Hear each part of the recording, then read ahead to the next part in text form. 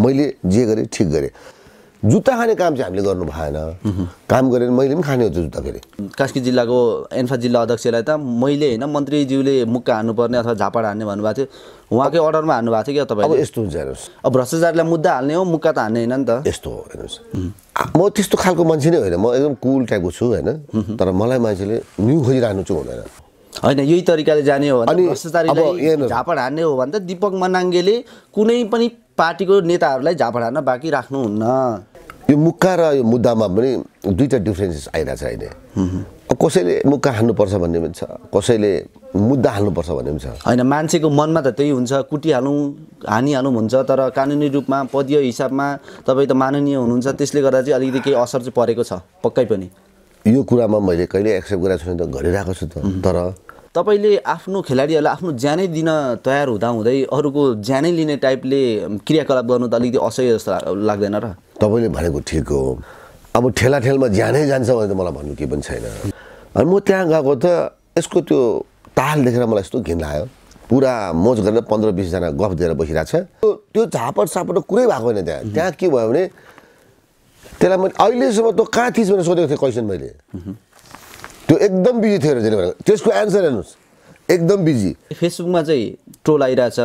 प्रधानमन्त्री हो र टुक्का हान्नलाई दिपके डनले त दिपक मनाङ्गे डनले त मुक्कै हान्ने हो झापडै हान्ने हो भनेर ट्रोल आइरहेछ। यसलाई कसरी लिनुहुन्छ? यसलाई व्यङ्गात्मक। तरिकाले लिनुहुन्छ अथवा। सपोर्टमा? सपोज तपाईँ र मेरो झगडा पऱ्यो। तपाईँले जानी बुझी मेरो दाँत भाँच्यो अरे। अनि तपाईँले भोलि आएर नेपालको ट्रेन के अहिलेको नेपालमा एउटा हावाको ट्रेन भइरहेछ। क्षतिपूर्ति दिन्छु भन्छ।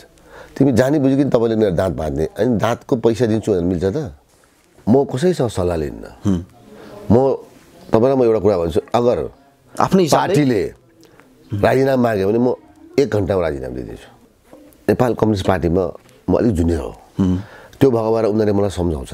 के भन्नुहुन्छ त नेताहरूले? त्यही अब सिनियरहरू त्यही त राति नघुम्दियो भन्छ। घुम्नु छोडिदिएँ मैले। म कहिले पनि बाहिर निस्किँदैन। मेरो जिल्लामा चाहिँ म भ्रष्टाचारलाई जिरो लेभलमा लाग्दैछु। स्वास्नीहरूले जति पनि करप्ट मान्छेहरू छ भ्रष्टाचारीहरू छ यो सबैको स्वास्नीबाट भएको कुरा हो। स्वास्नीले पैसा चाहिँ बाउ बुढाले कहाँबाट ल्याएको? सोधेको छैन। ल्याएको ल्याएको चाहिँ सुन र हिरा किनेको छ जग्गा घर बनाएपछि अनि लग्ने जेल जाँदैन त भ्रष्टाचारी नेताहरू अथवा भ्रष्टाचारी कर्मचारीहरूलाई कस्तो खालको चेतावनी दिन चाहनुहुन्छ अब यस्तो हेर्नुहोस्। आजको विशेष अन्तर्वार्तामा हामीसँग हुनुहुन्छ दिपक मनाङ्गे वास्तविक नाम चाहिँ राजीव गुरुङ। गण्डकी प्रदेशका सभा सदस्य पनि हुनुहुन्छ। यहाँलाई स्वागत छ। धन्यवाद। हिजो मात्र छ हजार पैसा र तपाईँ तारिखमा छुट्नु भएको छ। छुटेपछि तपाईँलाई कतिको पश्चाताप भएको छ? अब छुट्टिएर कहाँ पश्चाताप हुन्छ? छुट्टिएपछि झन् खुसी पो हुन्छ त मान्छे त होइन र? त्यहाँ- हुन्छ। तपाईँले भन्नु खोजेको त्यो छ हजारको कुरा हेर्नुहोस् यो एउटा प्रक्रिया हो। सार्वजनिक मुद्दामा गाली गलोच यो जति पनि मुद्दा छ यसमा केही न केही धरुडी राख्नुपर्छ। जस्तो पहिला जस्तो हो भने कङ्ग्रेसको गभर्मेन्टमा कङ्ग्रेसको सांसदहरूलाई केही पनि गर्नु पर्दैन। उनीहरूले मान्छे मार्दा पनि छुट्थ्यो त्यो बेला। अब अहिले कम्युनिस्ट गभर्मेन्टमा सबैलाई कानुन लाग्छ अहिले हेर्नुहोस्। यो गभर्मेन्ट भनेको साधारण जनताले बनाएको म्याक्सिमम् भोट ल्याएको छ। यो गभर्मेन्टले आफ्नो मान्छे भनेर छोड्दैन। जस्तो मलाई सांसद भयो भने मलाई छोड्नु मिल्दैन। त्यही भएर अब मैले पनि दुःख पाएँ। अब जसले मलाई मुद्दा हाल्यो तिनीहरूले पनि दुःख पाइरहेछ। किनभने सरकार भनेको यो पहिलाको जस्तो गभर्मेन्ट पनि होइन। स्ट्रङ गभर्मेन्ट हो। टु थर्ड मेजोरिटी छ हेर्नुहोस् जस्तो दुई दिन दुई दिन तपाईँ हिरासतमा बस्नुभयो त्यहाँ बस्दाखेरि चाहिँ तपाईँको मानसपटलमा चाहिँ के कुराको यादहरू आयो अथवा योजनाहरू भोलिको दिनमा गएर यस्तो गर्छु यो तरिकाले चल्नुपर्ने रहेछ भनेर सोच्नु भएको थियो? अनि त्यस्तो चाहिँ होइन। अब यस्तो हुन्छ भित्र बस्ने बेलामा हामीलाई चाहिँ बिजी लाइफ हुन्छ कोही बेला यसो रेस्ट गरे जस्तो पनि हो। र अर्को कुरा के थियो भने मलाई चिन्ता चाहिँ अब फर्स्ट गेम मेरो फुटबलकै चिन्ता हो मलाई। यो लडाइँ पनि फुटबलबाटै सुरु भएको हो। अब हाम्रो यस्तो टाढोबाट तिन चार ठाउँबाट प्लेयर्सहरू आएको छ बच्चाहरू। यिनीहरूलाई चाहिँ अलिकति ट्रेनिङ राम्रो गराउनु पहिला त राम्रो गराउनु पाएको थिएँ म बाहिर हुँदा पछि अलिक गराउनु पाएन। जस्तो फर्स्ट गेम हाम्रो हेर्नुहोस्।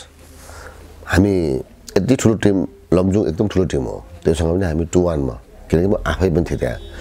सेकेन्ड गेम म भित्र हुने बित्तिकै यस्तो हुँदो रहेछ। मान्छेको मोटिभेसन गर्ने मान्छे छैन। नभएपछि कस्तो समस्या आउँदो रहेछ नि? सात र दुई गोल हेर्नुहोस् हामीले दुई गोल हान्यौँ सात गोल खायौँ। फेरि हिजो म छुट्दैछु भन्यो बिहानै म छुट्दैछु भने भनिदियो म त ग्राउन्डमा आउँदैछु भन्यो मलाई त के थाहा चार पाँच बज्छ भनेर। हिजो फेरि गोर्खासँग ड्र भयो। जब गोर्खा एकदम स्ट्रङ टिम हो। लमजुङ कास्की एकदमै स्ट्रङ हो। हाम्रो कम्पेरिङ टु हाम्रो क्लबलाई हामीलाई एकदम गाह्रो हुन्छ। किन? हाम्रो मनाङको क्लब भनेको एमएमसी त होइन यो त। यो त होल मनाङको बच्चाहरू लिएर आएको एन्फाले अनि यसमा चाहिँ के छ भने अठार उन्नाइस हाम्रो त्योभन्दा बढी छैन उमेरको। जस्तो यहाँको एकदमै राम्रो ट्रेनिङ यहाँको दस बाह्र कास्कीमा त ग्राउन्ड मात्रै छ। हाम्रो मनाङमा एउटा ग्राउन्ड भर्खर बनाउँदैछ अहिले। त्यो किसिमले पनि अलिकति केटाहरू पनि हिजो राम्रो खेलिदियो किनकि म छुट्दैछु ग्राउन्डमा आउँछु भनेर म्यासेज दिँदै। मान्छेलाई एउटा मोटिभेसन भनेको चाहिने रहेछ। जस्तो मानेर यो यो विवाद चाहिँ तपाईँहरू व्यक्तिगत तरिकाले एक्लै अर्कालाई आक्षेप लगाउनुभन्दा अगाडि चाहिँ तपाईँले चाहिँ उहाँलाई भ्रष्टाचारको मुद्दा टाइपले गर्नुभयो तर उहाँले चाहिँ के भन्नुभएको थियो भन्दा यो स्पष्टीकरण गर्ने एउटा समय पनि हो सुनौलो मौका पनि हो। उहाँले चाहिँ दिपक मनाङ्गेज्यूले चाहिँ मलाई एन्फाले हामीले एन्फाले दिनुपर्ने भन्दा केही दिन अगाडि सेवा सुविधा माग्नुभयो त्यो भएर चाहिँ यस्तो गर्नुभयो उहाँले व्यवहार भन्नुभएको छ। कि यसो एकचोटि स्पष्टीकरण गरिदिनुहोस् न। अब तपाईँहरूलाई म यो क्लियर गरिदिन्छु मैले कुनै बनाएर मेरो बोल्ने बानी छैन। हामी यहाँ यहाँ पोखरामा आइपुग्यो हाम्रो प्लेयर्सहरू एक गते होइन? ठिकै छ। त्यो हामीले आफै पठाएको। त्यसको लागि सबै खेलाडीको बाउहरूले दस दस हजार रुपियाँ डोनेसन गरेको छ। अलिक लामो समय गर्दा आफ्नो गोजीबाट खर्च गर्ने भनेर। किनभने हाम्रो प्लेयर्स मैले तपाईँलाई अघि भने हाम्रो प्लेयर्सहरू भनेको एउटा ठाउँबाट आएको होइन जस्तो कास्कीको कास्की भनेर आउँछ। लमजुङको लमजुङभित्रबाट मात्रै ल्याउँछ हाम्रो चाहिँ दसजना माथिल्लो मनाङबाट आयो। दसजना तल्लो मनाङबाट आएछ। हाम्रो कुनै पनि टिम सेट छैन। त्यो भएर यिनीहरूलाई तिन दिन जति चाहिँ जोइन बनाएर एउटा टिम मिलाएर चाहिँ ट्रेनिङ गराउने भनेर हामीले चाँडो पठाएको हो। सबै हाम्रो पैसा पनि हामीले डिपोजिट अलरेडी होटेल पनि हामीले काठमाडौँ डिपोजिट गरे हो। काठमाडौँबाट फोन गरेर होटल बुक गराएको छ। किनभने हाम्रो बनाङ्गेहरूको ठमेलमा अधिकांशको होटेल छ। त होटेल टु होटेल गर्दाखेरि अलिकति डिस्काउन्ट पनि पाउँछ हामीले। अनि अर्को राम्रो के छ भने एन्फाले बुक गर्दाखेरि होटेलहरू दिनु अलिक डराउँदो रहेछ यहाँ। किनभने पैसा नतिर्दिने होइन? त्योभन्दा त हामी त काठमाडौँबाट बुक गरेर आयो। र यिनीहरूलाई मैले पैसाको कुरामा यो डिस्कस परे होइन फेरि? यो ग्राउन्डको कुरामा भएको हो। हामीले ग्राउन्डमा आएको थियो। र अर्को यसमा तपाईँहरूले एकदम बुझ्नुपर्ने कुरा चार गते गेम चार गतेबाट सुरु भन्यो भनेपछि हामी त तिन गते त आइपुग्नु पऱ्यो यो समय पनि अलिकति एक्सटेन्ड भएको थियो यिनीहरूले के गरिदियो भने घर बसेर फेरि मनाङको एन्फाको अध्यक्षलाई मनाङको कोचलाई अहिलेसम्म थाहा छैन। इभन मलाई पनि थाहा छैन। यो घटनामा चाहिँ तपाईँ आफै संलग्न हुनुभन्दा अगाडि मनाङको अध्यक्ष एन्फा अध्यक्ष उहाँहरू एकअर्कासँग किन कुरा गर्नु भएन? यस्तो हो। मनाङको एन्फाको अध्यक्ष र कोचले चाहिँ मलाई बारम्बार मैले? के हो त अहिलेसम्म ग्राउन्ड पाएको छैन भनेर तपाईँबाट चाहिँ कुरा राख्न चाहनुभयो उहाँहरूले? असम्भव भयो होइन पाँचचोटि फोन गरेर बिचराहरूले। अब पाँचचोटि फोन गरेर फोनै उठाउँदैन अरे। घरि बिजी छु भने एकचोटि फोन उठाएर मान्छे मलाई उठाउँछु भन्दै अरे होइन एकदम यिनीहरूको यस्तो लिङ्गरिङ गर्ने। अब हाम्रो प्लेयर्सहरू भनेको त सुतेर खानु मिल्दैन। त्यो पछि मैले के गरेँ भने अब ठिकै छ नि त भनेर एउटा पार्कमा त्यो नट यो त प्ले ग्राउन्ड पनि होइन पार्क हो। त्यो लेकको पार्कमा किन एक दिन मैले सहारामा लिएर गएँ। सहारामा लिएर जाँदा कस्तो प्रब्लम आयो भने हामीसँग त सानो गाडी मात्रै छ। दुईवटा गाडीले चार ट्रिप गर्नुपर्ने रहेछ। त्यो प्लेयर जम्मै लानलाई। आउने र जानेमा एक घन्टा पैँतालिस मिनट हावा ठ्याक्कै गयो। भनेपछि त टाइमै छैन। ट्रेनिङ गर्नलाई टाइम पुग्दैन। भनेर हामी चाहिँ फेरि यिनीहरूलाई कन्ट्याक्ट गऱ्यो यिनीहरूले के ढाँटिदियो पुलिसको के अरे ग्राउन्ड हामीले मिलाइदिएको छु भन्यो। जबकि पुलिसको ग्राउन्ड भनेको त पब्लिकले यतिकै खेल्न जानु त पाउँदैन। पत्र त दिनु पऱ्यो नि छैन त्यो पनि। चार गते गेम भनेर हामी प्रिपेयर छु अब। दुई तिन दिन ट्रेनिङ भइसक्यो। एउटा गाउँमा गएर पनि अलिअलि खेलेर आयो। एक्सपिरियन्सको लागि। अन्तिम आएर के भन्थ्यो सात गते सर्यो भन्थ्यो ठिकै छ केही छैन। किनकि यो यो एन्फासँग यो गेममा चाहिँ जोडेको थियो मुख्यमन्त्रीको नाम। मुख्यमन्त्री कप भने बित्तिकै हामीले रेस्पेक्ट गर्नुपर्छ हेर्नुहोस्। अब हेड अफ द स्टेट पनि हो। प्लस फेरि जस्तो हाम्रै पार्टीको भयो नि त हामीले सपोर्ट त गर्नु पऱ्यो नि त एउटा। संयोग आएको छ जस्तो तपाईँले अस्तिको प्रेस मिटमा पनि भन्नुभएको रहेछ। यो मान्छेलाई त कास्की जिल्लाको एन्फा जिल्ला अध्यक्षलाई त मैले होइन मन्त्रीज्यूले मुक्का हान्नुपर्ने अथवा झापड हान्ने भन्नुभएको थियो। उहाँकै अर्डरमा हान्नुभएको थियो क्या अब तपाईँले? यस्तो हुन्छ हेर्नुहोस्। म मुख्यमन्त्रीसँग खासै यति भेट्दिनँ। हामीले रेस्पेक्ट गर्ने चिज। हो जिल्लाको कुनै काम परिहाल्यो भने जाने हो।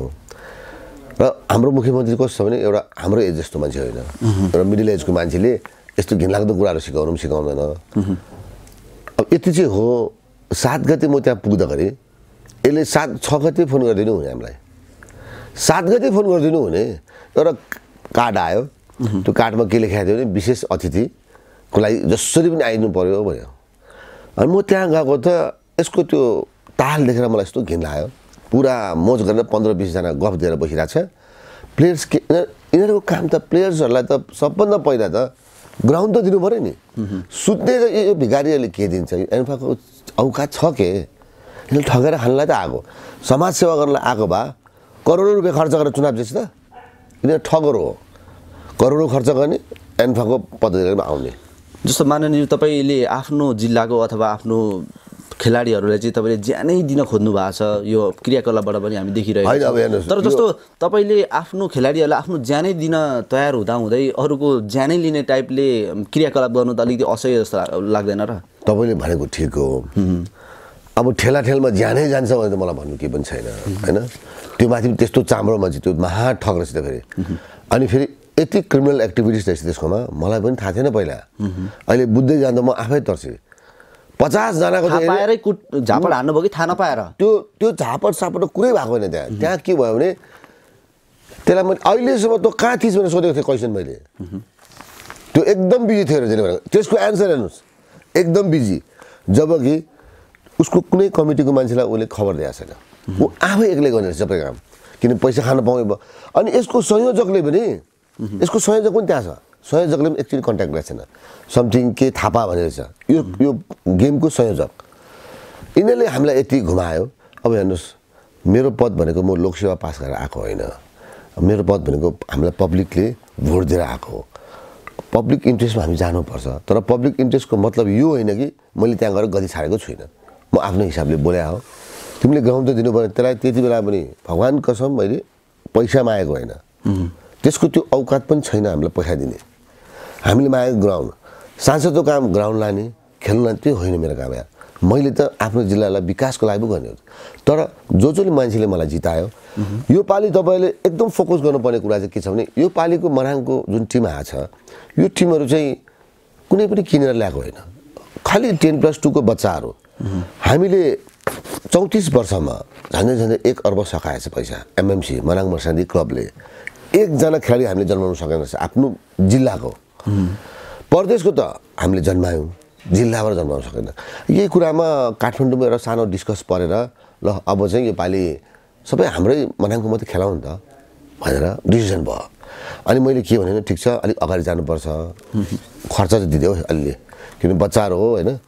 बाहिर जाने यस्तो त चान्स छैन म छँदैछु। तर रुमको भाडा दिनु पऱ्यो खाने खर्च त एन्फाले त चार गतिबाट तिर्ने हो। होइन? चार गते गेम छ। चार गतिसम्म चाहिँ तिमीहरूले गर्नुपर्छ भन्दा सबैले खुसी भएर आफ्नो आफ्नो छोरालाई दस दस हजार दिएर पठाएको छ ठिक छ यो घटनाको ब्याकग्राउन्ड अलिकति हामीले बताइहाल्यौँ माननीयजी तपाईँ कतिको सामाजिक सञ्जाल चलाउनुहुन्छ? सामाजिक सञ्जाल भनेको के हो फेरि? फेसबुक ट्विटर मेरो मेरो आफ्नो प्रोग्रामको मात्रै। म अरू मलाई अरू मतलब पनि छैन।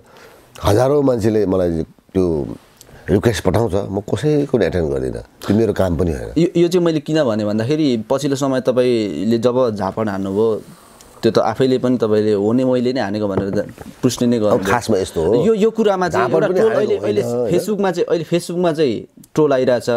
प्रधानमन्त्री हो र टुक्का हान्नलाई दिपके डनले त दिपक मनाङ्गे डनले त मुक्कै हान्ने हो झापडै हान्ने हो भनेर ट्रोल आइरहेछ। यसलाई कसरी लिनुहुन्छ? यसलाई व्यङ्गात्मक। तरिकाले लिनुहुन्छ अथवा। सपोर्टमा? यो कस्तो छ भने हेर्नुहोस्। नेपालको प्रधानमन्त्रीहरूले तिन चारजनाले झापट खायो। झापटकोले हान्यो भन्दा आफ्नै पार्टीको कार्यकर्ताले हान्यो। कोही बुढो मान्छे कम्युनिस्टको कोही यङ केटा कङ्ग्रेसको किन हान्यो भन्दाखेरि बदमासी गऱ्यो भने चप्पल हान्छ नि यार जुत्ता हान्छ।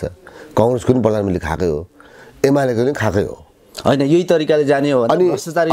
झापड हान्ने हो भने त दिपक मनाङ्गेले कुनै पनि पार्टीको नेताहरूलाई झापड हान्न बाँकी राख्नुहुन्न। हाम्रो यस्तो हाम्रो यस्तो प्रिन्सिपल पनि छैन तर नेताले पनि जे पायो त्यो कि गर्नु। आवेगमा आएर हो त्यो चाहिँ। त्यो होइन त्यो होइन। म त्यस्तो खालको मान्छे नै होइन। म एकदम कुल टाइपको छु होइन। तर मलाई मान्छेले न्यु खोजिरहनु चाहिँ हुँदैन। म कसैलाई न्यु खोज्नु पनि जान्न। मेरो रक्सी खाएर बोलाउने बानी पनि छैन हेर्नुहोस्। म अहिलेसम्म पनि पोखरामा। आएर चौध महिना भयो होला। म एक रात पनि म पोखराको त लेक साइड भन्ने पनि गएको छैन म। किनभने अब बर्थडे सड्डे भनेर कोही बेला एकचोटि गयो होला। म कहिल्यै जान्न म? मेरो सोसियल लाइफ भनेको घर नै हो। र मेरो सोसियल लाइफ भनेको मेरो समाज हो।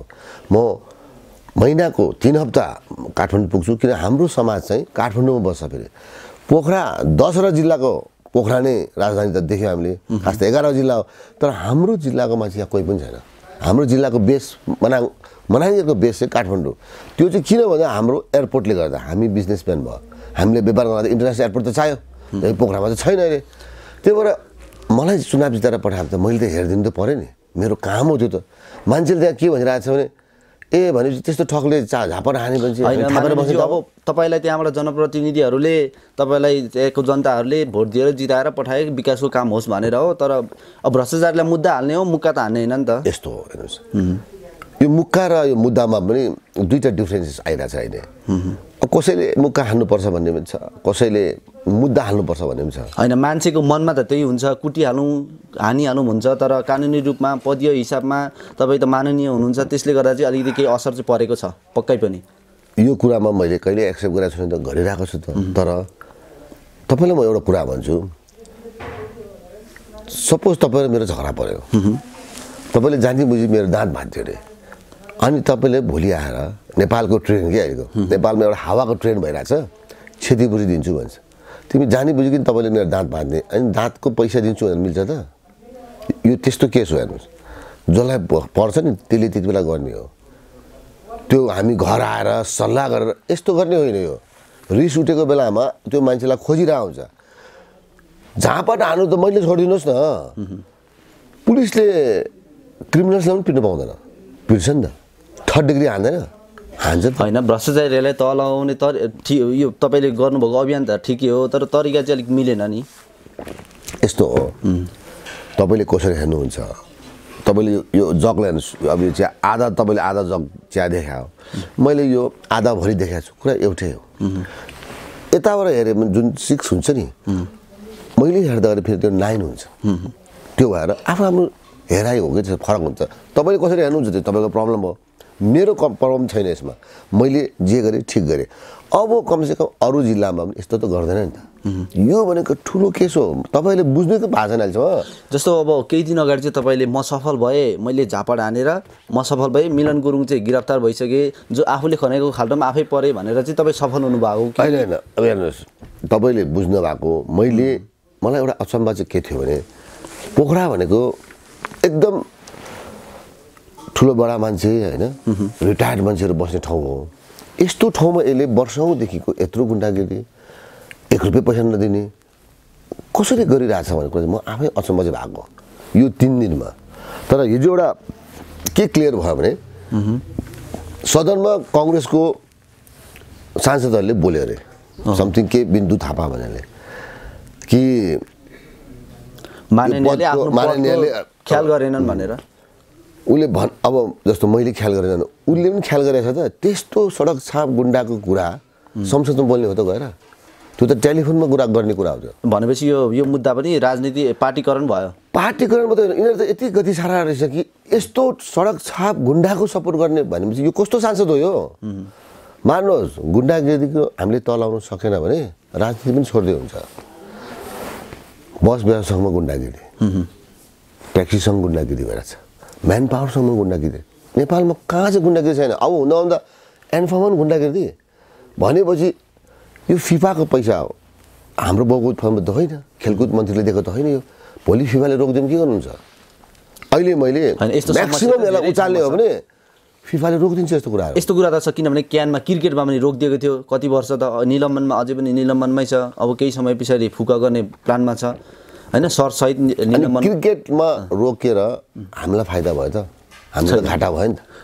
अब के तपाईँ के तपाईँको एक्सपेक्टेसन चाहिँ यो एन्फा पनि रोकोस् पैसा भन्ने त होइन नि हाम्रो त। हाम्रो त एन्फामा आएको पैसालाई सही रूपले युज हुनु पऱ्यो अब यिनीहरूले हेर्नुहोस् तपाईँलाई मलाई कुरा यिनीहरूले यो अहिलेको जो टिम आएको छ नि जितेर यो टिमलाई जिताउनेमा मैले यति सहयोग गरेको छु त्यो कर्म सिरिङ शेर्पालाई।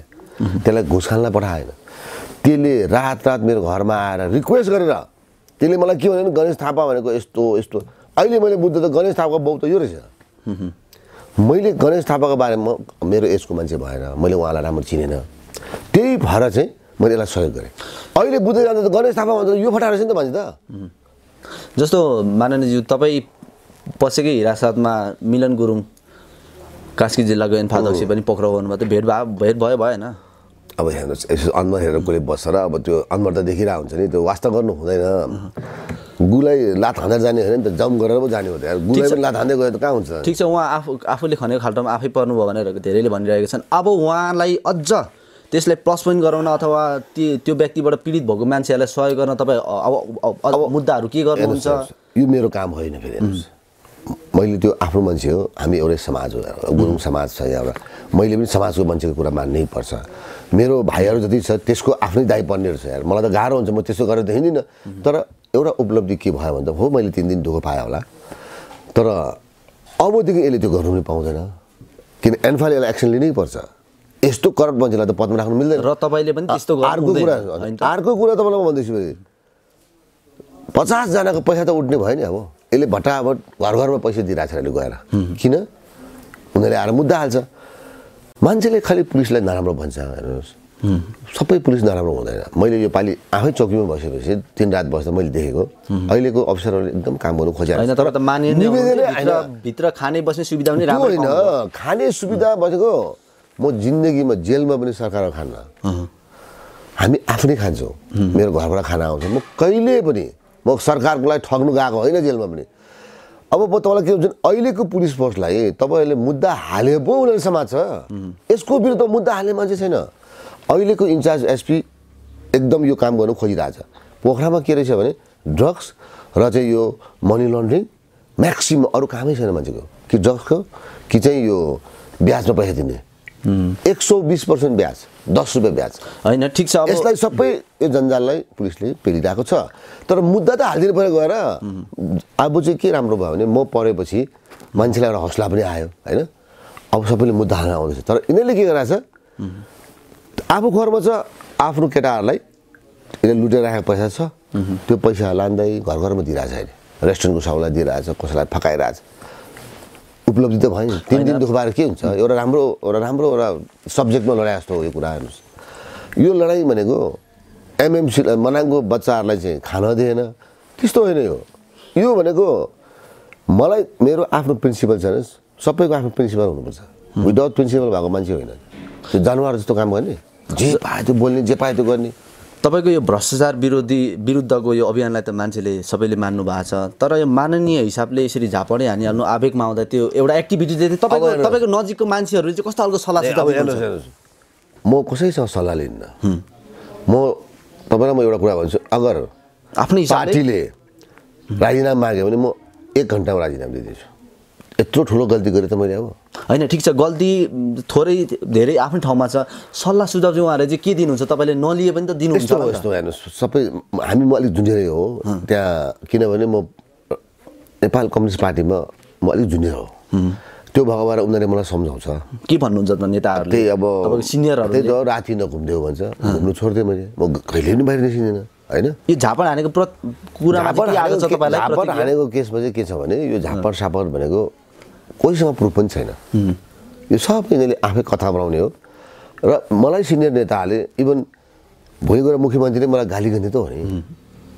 यसो नगर उसो नगर त भनिहाल्छन् तर मुख्यमन्त्रीले पनि के बुझ्नु पऱ्यो भने उहाँले पनि म कहाँ त्यसलाई खोज्दै हिँडेको त यार? उनीहरूले मलाई विशेष अतिथिमा बोलाएको होइन त। विशेष अतिथि भएर गएपछि मेरो खेलाडीलाई खोइ त बस्ने ठाउँ सात गतेको कुरा हो यो त। हामी त तिन गतेको कुरा गरेको छु नि अहिले। तिन गतेबाट सार्यो एन्फाको अध्यक्ष हाम्रो जिल्ला अध्यक्षलाई खबर छैन। सात गते पुऱ्यायो अहिले टाइसेट निकालिदियो टाइसेट निकाल्दाखेरि यो रुल्स छ सबै अध्यक्षहरू पोखरामा आएर टाइसेटसँगै बसेर निकाल्ने हो यसले टाइसेटमा पनि गेम खेलिदियो राम्रो राम्रो टिम यसले एक साइडमा पार्यो। हाम्रोमा हेर्नु हाम्रो त बच्चा टिम भयो। मैले यो बच्चाहरूलाई जित्नुलाई ल्याएको पनि होइन। यिनीहरूलाई एउटा चाहिँ एक्सपिरियन्सको लागि सबै उसको परिवारहरूलाई सल्लाह गरेर एउटा यत्रो हाइट भएको टिमहरूसँग खेल्दैछ तेरो छोराहरू। सहयोग गर। बच्चाहरूले राम्रो खेले पनि हो। होइन? यसलाई हामीले केही मागेकै छैन। यसले टाइसेट निकाल्दा पनि मान्छे बोलाएर यसले एन्फाको। आफै घर बसेर बन्ने। अनि यतापट्टि चाहिँ अलिक सजिलो सजिलो टिम पार्ने अनि त्यहाँबाट पनि पैसा खाने। अरू त छोड्नुहोस् तपाईँ पोखरामा यसले यतिसम्म गरिरहेको छ कि मान्छेसँग चन्दा लिएर अतिथिमा राख्दो रहेछ यसले। यस्तो घिनलाग्दो नि हुन्छ मान्छे। अतिथि भनेको पैसाले गर्ने हो त हामीले। यसले धेरै बदमास गर्छ तर यसले गर्दै नगर्नुपर्ने काम गरिराख्ने हो। यो त? यस्तो यसले यसले गरोस् एन्फाले गरोस् हामीलाई मतलब भएको होइन तर मुख्यमन्त्री कपमा गर्नु पाउँदैन। यो चाहिँ हामी पनि फस्छौँ अब जति सरकार त हाम्रो हो नि त अहिले त। मुख्यमन्त्री भनेको त यस्तो पद हो हामीले रेस्पेक्ट गर्नुपर्छ। नचाहिने कुरा त गर्नु दिनु भएन नि। यति कुरा हो कि मुख्यमन्त्री एकदम बिजी पनि छ। एक्लो मान्छे कहाँ कहाँ अलिक नयाँ प्र्याक्टिस पनि छ। घरि लमजुङ जानुपर्छ घरि स्याङ जानुपर्छ उहाँ बिजी पनि छ। उहाँलाई मैले राम्रो सम्झाउनु बित्तिकै यसलाई मुख्यमन्त्रीले पनि जेलमै हाल्नुपर्छ भन्छ। अब जस्तो जे जे घटना घट्नुपर्ने घट्यो घटिहाल्यो होइन। अबको तपाईँको भ्रष्टाचार अभियान चाहिँ कसरी बढ्छ? यो झापडै हान्ने कुटिने यस्तो राति हाल्ने तरिकाले हुन्छ कि अलिकति मुद्दा हाल्ने अलिकति कानुनी रूपमा चाहिँ अगाडि बढ्छ? यो बढाउनुहुन्छ। यो चाहिँ मैले आफ्नो सिनियर नेताहरूसँग सल्लाह गर्ने हो होइन। तर नेपालमा कस्तो प्रब्लम रहेछ भने भ्रष्टाचार भनेको हामी एकजनाले गरेर हुँदैन। नेपालको प्राइम मिनिस्टरले पनि ट्राई त गरिरहेको छ नि त। कहाँ सकेको छ त्यहाँ? कहाँ सकेको छ? देखाउनु। यस्तो गाह्रो छ। प्रधानमन्त्रीको वरिपरिकै सबै भ्रष्टाचारीहरू छन्। त्यो त उहाँले पनि हामीले। उहाँले पनि हामीले पेले जस्तो पेल्नु सक्नु पऱ्यो अस्ति पनि उहाँले तिन चारजनालाई त स्याक गराएको छ नि त। सल्लाहकारहरू। त्यसमा एउटा एकदम घुसिया मान्छे परेर सबै स्याक गराएको छ। स देखियो बुझ्यो भने थाहा भयो भने स्याक गर्ने हो। अरू त के गर्न सकिन्छ र अब? घर घर गएर सोध्ने कुरा आउँदैन। प्राइम मिनिस्टर बिजी मान्छे हो। हाम्रो मुख्यमन्त्रीको फुर्सदै छैन। यति काम गरिरहेछ। सबैभन्दा डेभलपमेन्ट यही चार नम्बर प्रदेशमा त हो नि हेर्नुहोस् तपाईँ चार नम्बर प्रदेशको डेभलपमेन्ट मात्रै हेर्नुहोस् यति राम्रो छ यहाँ। कसले गरायो त हामीले पनि सपोर्ट गरेको छ। प्रदेशमा मुख्यमन्त्रीले पनि आँट गर्ने हो। हामीले पछाडि सपोर्ट गर्ने हो। हामीले त कुनै पद मागेको पनि छैन। ठिक छ अब भ्रष्टाचार विरुद्ध लाग्नलाई चाहिँ अब मुद्दा नै खेप्ने हो कि मुद्दा हाल्ने अथवा मुक्का हान्ने झापड हाल्ने यति चाहिँ भनिदिनुहोस् न मलाई भ्रष्टाचारको पनि अब सिङ र पुच्छर चाहिँ हुँदैन नेपालमा सबैभन्दा ठुलो भ्रष्टाचारी नै भ्रष्टाचार आयोगको अध्यक्ष भएको हुन्छ। पहिला त्यो कार्की हो। नेपालको सबभन्दा करप्ट मान्छे अख्तियार सिंह बनाइदियो त्यहाँबाट त्यो दिप बस्ने अहिले नेकपाकै सबैभन्दा करप्ट मान्छे दिप बस्ने भनेको अहिले इन्डिया भागेर बसिरहेको छ अहिले नेकपाको सरकार हुँदाखेरि त यहाँ भ्रष्टाचारको त पुरै जरा हाँगा पत्ता सबै निस्किरहेछ। अब तपाईँ यसरी अब भ्रष्टाचार अभियान चलाइराख्नु भएको हेर्नुहोस्। मेरो जिल्लामा मैले केही थाहा पाएँ। मैले एक्सन लिएँ। मलाई सपोर्ट पार्टीले पनि गर्छ र पुलिस प्रशासन पनि गरिरहेकै छ। पुलिस एकदम एक्टिभली लागिरहेकै छ। तर पुलिसले काम कतिको साथ पाइरहनु भएको छ? कसको? भ्रष्टाचार विरुद्ध लाग्नलाई यस्तो हाम्रो त्यो जनताले त तपाईँलाई सहयोग गरिहाल्छ अवश्य। पनि निवारण मैले पहिला मैले भनेको छु मेरो जिल्लामा चाहिँ म भ्रष्टाचारलाई जिरो लेभलमा लग्दैछु। मेरो जिल्लामा कुनै नेताले कुनै ओडाको अध्यक्षले कुनै पालिकाको अध्यक्षले आफ्नो काम गर्नु पाउँदैन ठेकेदार बन्नु पाउँदैन। त्यसको समिति समिति पब्लिकबाट गराएको छ हामीले। चाहे पार्टीको होस् तर पब्लिक। पार्टीलाई ज्यान दिने मान्छेहरू। कसैले एक रुपियाँ माग्यो भने मलाई भन् भनेको छु मैले। मैले त्यसरी काम गरेँ। मैले सक्ने मेरो आफ्नो जिल्ला हो। मैले होल नेपाल कहाँबाट सक्छु? यत्रो ठुल्ठुलो नेताले सक्दैन मैले सक्छु त तर कोसिस गर्ने हो। सायद एउटा कुरा के छ भने के थाहा मुख्यमन्त्रीलाई पहिलादेखि यो कुराहरू थाहा नभएको होला? बल्ल पो थाहा हुँदैछ। यो वास्तवमा चाहिँ अब तपाईँ अलिकति जुनियर पनि छु भन्नुभयो भर्खर भर्खर पार्टी पनि प्रवेश गर्नु भएको छ चुनाव जितेपछि। कतिको सल्लाह सुझाव अथवा यो चाहिँ यस्तो छ वार्निङ गर्नुहुन्छ आफूभन्दा सिनियरहरूलाई? यहाँ चाहिँ यस्तो भ्रष्टाचार भइरहेछ कारवाही गर्नुपर्छ भनेर कतिको? यस्तो हुन्छ अब नर्मल्ली चाहिँ मैले उहाँहरूसँग भेटघाट गर्ने फुर्सद चाहिँ मेरो पनि हुँदैन। किनभने हामी बेस काठमाडौँ मैले अघि पनि भने म्याक्सिमम् टाइम हामी काठमाडौँमा बस्ने हो कोही बेला हाउस हुँदा आउने हो। अनि बजेटको कुरामा उहाँहरूलाई सहयोग माग्ने हो। र अहिले म अर्थ तर विकासमा पनि छु। यसमा सदस्य छु म। तर सबै कुरा पास भइसकेको छैन। नत्र पनि यो अर्थ विकासमा जुन जुन ठाउँमा मलाई ल्याएको छ म चार नम्बर प्रदेशलाई यति चाँडो डेभलप गराइदिन्छु। र दुई नम्बरीलाई म रातका रात सिधाउन सक्छु तर हामीसँग पावर छैन अहिले। पावर केन्द्रमा छ अहिले। मेरो अध्यक्षले पनि गर्नु मिल्दैन अहिले। कतिवटा कुरा कस्तो हुन्छ भने हामीले मात्रै कोसिस गरेर। डिसेन्ट्रलाइज भएकै छैन? छैन। बिस्तारै हुँदैछ। र धेरै फास्ट भएको यो दुई वर्ष चान्सुन त भएको छ अहिले। धेरै फास्ट हो। हामीले यस्तो प्र्याक्टिस गर्ने बेलामा चाहिँ सरकारले गरेन भनेर चाँडो रिसाउनु हुँदैन। पच्चिस वर्षसम्म कङ्ग्रेसले गर्यो। के चाहिँ गर्यो? आफै हेर्नुहोस् तपाईँहरू।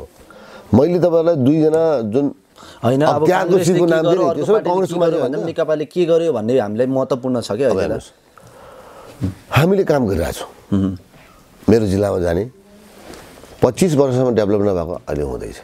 अब नार्फुममा पनि रिसेन्टली पाँच किलोमिटरको फेरि बजेट आइसक्यो। जबकि नार्फुममा बजेट त छोड छोडिदिउँ। पच्चिस वर्षमा सांसदको अनुहार पनि देखेको छैन तिनीहरूले। अहिले हामी डे टु डे उनीहरूसँग कन्ट्याक्टमा छौँ। चुनाव सक्ने बेलासम्म हाम्रो तेङ्गी मलाङसम्म बाटो पिच हुन्छ। गर्ने यति हो। हामीले जग्गा बेचेर हाल्ने होइन। अहिले फेरि देशको स्थिति कस्तो भने कम्युनिस्ट पार्टीले बहुमत ल्याउने बित्तिकै विदेशीहरूले एड पनि म्याक्सिमम घटाइरहेछ। खै कङ्ग्रेसलाई जति पनि दिने हामीलाई त नदिने। मैले उनीहरूको केही बुझेको छुइनँ। किन चाहिँ नदिएको? आखिर देश त्यही हो। होइन? जनता त्यही हो। नेता उनीहरूभन्दा राम्रो काम गर्नु खोजिरहेको छ किन चाहिँ पैसा दिएन त उनीहरूले? फेरि कङ्ग्रेसहरू भने रुँदै पुग्ने त्यहाँ पैसा नदियो। यिनीहरूको त डिटेल मैले इन्डियाबाट ल्याएको त्यो कुरा। आफ्नो देशमा पैसा दिने संस्थाहरूलाई पैसा दिने देशहरूलाई पनि नदिए भन्नु मिल्छ। जस्तो अब अहिले पछिल्लो समय चाहिँ नेकपाको सरकार भएपछि चाहिँ विभिन्न काण्डहरू वाइट बडी काण्ड बालुवाटार यताउता होइन निर्मला। यो सुन्नुहोस् एकचोटि यो के लाग्छ तपाईँले मनन कति गर्नुहुन्छ? भ्रष्टाचार नरोकिनु विकास सुस्त गतिमा हुनु यसमा यसमा हेर्नुहोस् होइन। वाइट बडी भनेको यो कङ्ग्रेसको पालामै भएको कुरा हो। यो कम्युनिस्ट पार्टीको टाइमको होइन है फेरि तपाईँहरू प्रष्ट हुनुहोस् यो भनेपछि जन्मिन चाहिँ काङ्ग्रेसको पालामा जन्मेको थियो नरन चाहिँ नेकपाले राख्यो हो र। नेकपाको सरकारमा अब हेर्नुहोस् वाइट बडीमा जो मन्त्रीले काम गरिरहेको थियो त्यो मन्त्री त बिचरा एक्सपायर भयो अहिले होइन? हो। अब नयाँ मन्त्री योगेश भट्टराई आएछ उहाँलाई त टाइम दिनुहोस् न उहाँ बिचरा अब गरिरहेकै छ। उहाँ त 2020 उहाँलाई त। अहिले पत्रिकाले पनि निकालिसकेको छ कि उहाँ अपरिपक्व मन्त्री भनेर छापिसकेको छ। उहाँ के के भन्नुहुन्छ के के भन्नुहुन्छ? टु थाउजन्ड ट्वेन्टीको भिजिट नेपाल चाहिँ डोनाल्ड ट्रम्प लिएर उद्घाटन गर्छु भन्दै हुन्थ्यो। अब त्यो हेर्नुहोस् कतिवटा कुरा कस्तो हुन्छ भने मैले उहाँलाई पर्सनली चिन्दै चिन्दैन। पर्सनल नचिन्ने मान्छेको अब पर्सनल चिन्ने भए पो तपाईँले यसो नगर्नु यार भन्नु मिल्छ। पर्सनल दिन चिन्दिनँ। मैले जुन पावर पाएको छु मैले त्यसलाई राम्रो राम्रो राखिदिन्छु त्यो त्यो चिजलाई होइन। अब अरूले के गर्छ? अनि उसले काम गर्नु सकेन भने त प्राइम मिनिस्टर त छ नि त त्यहाँ त। तपाईँले हाम्रो प्रदेशको के भन्छ मन्त्रीले काम गरेन भने पो मलाई सोध्ने हो केन्द्रको हामीलाई केही मतलबै हुँदैन थियो हामीलाई थाहै हुँदैन। हो कि होइन। र तपाईँको त्यो बलवाटार काण्ड त्यो मेरो कामको होइन त्यो। त्यो केन्द्रको काम हो मे मैले हेर्ने होइन। त्यस्तो नेता छोड्नै हुन्न नि होइन। खालि खालि मेरो एउटा चाहिँ के छ भने मलाई अलिकति सरम लागेको चाहिँ दुईवटा केस हो। एउटा त्यो निर्मला हत्या काण्ड त्यो एकदमै घिनलाग्दो हो त्यो। अलरेडी त्यो चाहिँ सबैजनालाई जेलमा हाल्नुपर्ने अहिलेसम्म। यो केस तुरन्त खारिज हुनुपर्ने केस हो यो तेत्तिस किलोवाला। म तपाईँलाई एउटा कुरा भन्न चाहन्छु। मेरो जिल्लाको पनि दुईजना मान्छे छ त्यहाँ। पुलिसको अफिसर पनि हावामा फस्याएको छ। अब पुलिसमा त के हुन्छ? आइजीले समात्न जाउँ जानै पऱ्यो अथोरिटी। हावामा हावामा समात्यो त्यहाँ त केही पनि छैन। सुन त हुनु पऱ्यो नि। पहिला सुन खोज्ने हो हामीले। मान्छे खोज्दै हिँड्ने होइन। अर्को कुरा हाम्रो मनाङको दुईजनालाई हालिदिएको छ हेर्नुहोस्। फर्स्ट हियरिङमा चाहिँ यो डिसमिस हुने केस हो यो। अहिलेसम्म भएको छैन। कस्तो मनाङकै मात्र दुईजना पक्राउ परेर तपाईँलाई आपत्ति हो कि समग्रमै? बेजत त हाम्रो भयो नि त। किनभने सरकार त हाम्रो हो नि त अहिले। भोलिको दिनमा यो कुरा निस्किन्छ। आज निस्किन होला। भोलि निस्किँदैन। चार्ज लाउने तेत्तिस किलो भन्ने सुन त छोड्दै फलम पनि समाएको छैन यिनीहरूले मान्छेलाई त्यसरी जेलमा हाल्ने होइन त्यो फेरि त्यो दुईजना एकदम व्यापार गरेर कमाउनु सक्ने मान्छेहरू हो त्यस्तो मान्छेलाई जेलमा हाल्ने त्यसले कति कतिजना मान्छेलाई काम दिइरह होला सब सकेन अब अर्को बिचरा म त चिन्दिनँ अर्को पनि त तिसजना दिएछ अरे त्यहाँ त्यसरी गर्ने होइन अब जस्तो एउटा अलिकति रमाइलो प्रश्न अब दिपक मनाङ्गे चाहिँ अख्तियार दुरुपयोग अनुसन्धानको प्रमुख भयो भने कुनै नेताले पनि कुनै नेता पनि झापड नखाएको नहुने भयो। प्रत्येक नेताले झापड खाने भयो भने अलिकति हाँसो तरिकाको टिप्पणी छ। अब हेर्नुहोस्। पहिलो कुरा हामी जानु पनि पाउँदैन त्यो ठाउँमा। त्यो ब्युरोक्राट्सहरूको रिटायर पछि जाने ठाउँ हो। एउटा कल्प कल्पना गरेको चिज। र मेरो काम मान्छेलाई झापड हान्दै हिँड्ने पनि होइन फेरि। बुझ्नु भएन झापडभन्दा ठुलो चाहिँ के हो भने जेल हो कि? कारवाही गर्ने कानुनी रूपमा सजाय। कानुनमा लाने हो। एउटा एक्सिडेन्टली भएको कुरालाई हामीले दोहोऱ्याइराख्नु हुँदैन। कोही बेला हुन्छ। मान्छेहरूले यो देशमा एउटा रिक्सावाला टाइपको मान्छेले यार प्राइम मिनिस्टरलाई जुत्ता हानेको छ तपाईँहरू कहाँ हुनुहुन्छ कुन देशमा हुनुहुन्छ यही देशमा हानेको होइन। अब फेरि कुनै विदेशीले आएर हाने हो र कङ्ग्रेसलाई कम्युनिस्टले गर्दा हाने होइन नि त। कङ्ग्रेसकै मान्छेले हानेको छ। कम्युनिस्टलाई फेरि कम्युनिस्टको मान्छेले हानेको छ। जुत्ता खाने काम चाहिँ हामीले गर्नु भएन। काम गरेर मैले पनि खाने हो त्यो जुत्ता फेरि। कम्युनिस्ट कम्युनिस्टले हाने तर तपाईँले चाहिँ नेकपाकोले काङ्ग्रेसले हान्नुभयो। कहाँ हुने? कङ्ग्रेसले हानेको कङ्ग्रेस कार्यकर्ताले हाने होइन? कत्रो लडाइँ भयो त्यहाँ। कतिवटा कुरा कस्तो हुन्छ भने हेर्नुहोस्। जुत्ता खाने काम गर्नु हुँदैन हामीले। मैले त्यस्तो काम कहिले जिन्दगीमा गर्नु गर्दिनँ। मेरो त्यस्तो सोच पनि ठुलो छैन। र मेरो फ्यामिली पनि यस्तो लोभी टाइपको छैन हेर्नुहोस्। मेरो छोराहरू एउटा सामान्य स्कुल पढ्छ होइन? मैले त्यस्तो एकदम यिनीहरूलाई हाइफाई लाइफ पनि दिएको छुइनँ। आफै दुःख छ। बच्चालाई हुर्काउनु पनि जान्नुपर्छ हामीले। स्वास्नीलाई एक्सपेक्ट एक्सपेक्टेसन हाई गरिदिनु हुँदैन। स्वास्नीहरूले जति पनि करप्ट मान्छेहरू छ भ्रष्टाचारीहरू छ यो सबैको स्वास्नीबाट भएको कुरा हो। स्वास्नीले पैसा चाहिँ बाउ बुढाले कहाँबाट ल्याएको? सोधेको छैन। ल्याएको ल्याएको चाहिँ सुन र हिरा किनेको छ जग्गा घर बनाएपछि अनि लग्ने जेल जाँदैन त नि। तपाईँलाई म दुईवटा केस तिनवटा केस भन्छु। नेपालको नाम नभनौँ टप से टप नेताहरू प्रधानमन्त्री हुनुपर्ने नेताहरू छोरा चेलीले गर्दा खत्तमै भएको छ। राजनीतिक नै सक्यो। फस्ने कारण परिवारको अरू सदस्यले गर्दाखेरि। एउटा त मैले चिरञ्जीवी वागले देखेको।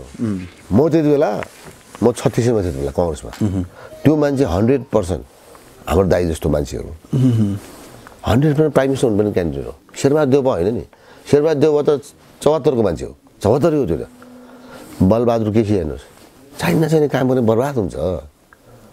त्यही भएर हामीले छोराहरूलाई आफ्नो अगाडि पछाडि राख्नु दिनुहुन्न। जस्तो अब माननीयज्यू तपाईँले त भ्रष्टाचार विरुद्धको लागि अब अभियानै चलाउँछु ख खरो रूपमा दरो रूपमा भन्नुभएको छ। मनाङमा त म जिरो लेभलमै लेख ल्याउँछु भन्नुभएको छ। अब जिरो भ्रष्टाचार त नहोला होइन? तपाईँ तपाईँको त्यो आशा र तपाईँको लक्ष्यलाई चाहिँ हामीले मान्नुपर्छ। अब भ्रष्टाचारी नेताहरूलाई। भ्रष्टाचारी नेताहरू अथवा भ्रष्टाचारी कर्मचारीहरूलाई कस्तो खालको चेतावनी दिन चाहनुहुन्छ? अब यस्तो हेर्नुहोस् भ्रष्टाचार गऱ्यो भने त्यो एउटा सडकमा माग्ने मान्छेले जुत्ताले हान्छ।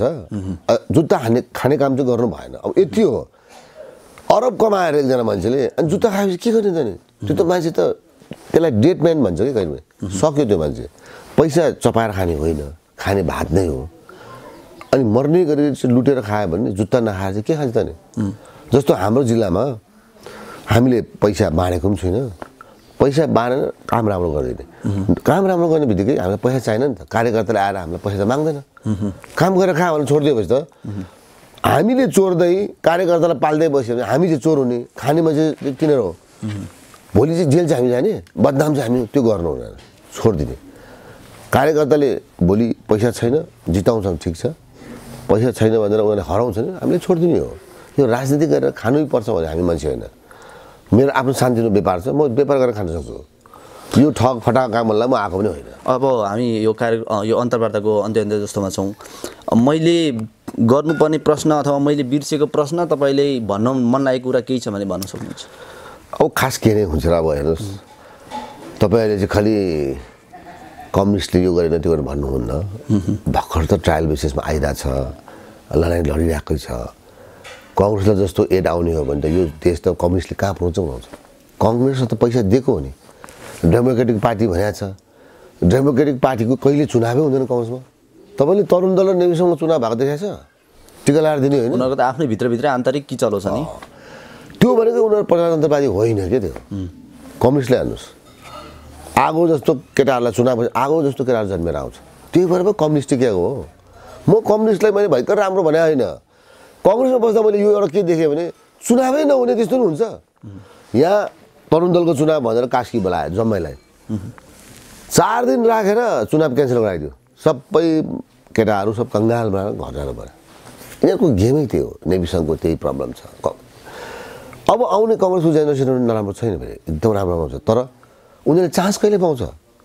अब त्यो रामचन्द्र पौडेलको ठाउँमा शेरबहादुरको ठाउँमा ल अरूले टिकट पायो अरे। शेरबहादुर देउपाले तिस चालिस गरेर खर्च गर्न सक्छ। अरूले पाएर के भने त्यसले खर्च गर्न सक्छ त? अनि त्यो हार्यो अनि। किन उसले छाडा बनाइसक्यो नि त?